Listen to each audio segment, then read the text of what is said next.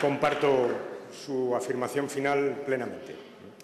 Y para eso trabaja el Ministerio del Interior y el Gobierno. Le recordaré, el señor Rodríguez Menéndez eh, se fuga, en, parte porque hay un juez, el de Vigilancia Penitenciaria, que le da un permiso en contra de la Junta de Tratamiento de la Prisión.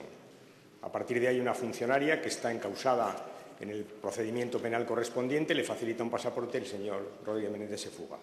Se ha abierto un procedimiento penal, la funcionaria está encausada, ha sido suspendida los seis meses que permite la ley y estamos a la espera de que se celebre el correspondiente juicio y de la sentencia oportuna. Entre tanto, ¿qué hizo el Ministerio? Dos cosas.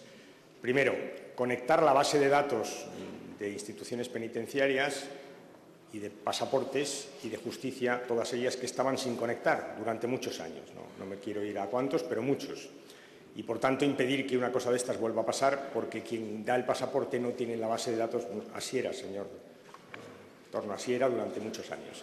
Segundo, eh, cumplir una orden de búsqueda y captura y detener, detener, que fue la policía española, el señor Rodríguez Menéndez, detenerle en Argentina, después de una peripecia policial muy eh, importante. Ahora estamos a la espera de la extradición, que naturalmente quiere la justicia española quiere la justicia argentina y, por supuesto, quiere el Gobierno español. Y así acabaremos con espectáculos que usted califica de repugnantes y yo me sumo también a esa calificación. Muchas gracias, señor presidente.